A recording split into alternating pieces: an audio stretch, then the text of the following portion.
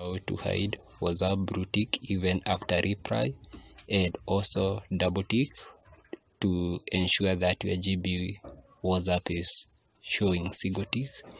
What you need to do is just click the three dotted icon in the upper right hand side of your GB WhatsApp. Then move, click the option GB settings. After clicking the option GB settings, you can cancel the developers update. Then click the option privacy and security. You will scroll to where we have chat option.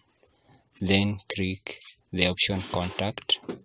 When you click the option contact, you can tick this option, hide blue tick and hide second tick.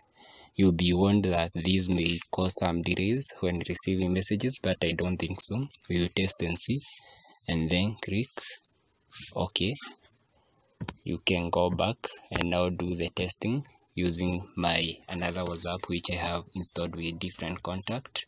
You can reset it first to update the option. Have reset. Then after there, I will come back to another another WhatsApp which I have registered with different contact in my phone. I text this WhatsApp, GB WhatsApp. I will text hi. After texting hi, I will come back to the GB WhatsApp.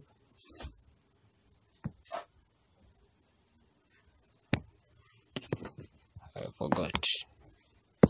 So I will text hi. Then I come back to my GB WhatsApp. I had not sent. I have gotten the message. So so you have so you have see there is, there are no delays. After uh, seeing the message, I will come back to the TM WhatsApp. You see, I have read the message, but it still shows a single tick and no blue tick. Thank you for watching. So that is the efficient method how you can hide blue tick and show and hide double tick on WhatsApp. Thank you for watching. Kindly don't forget to give the video a thumb up.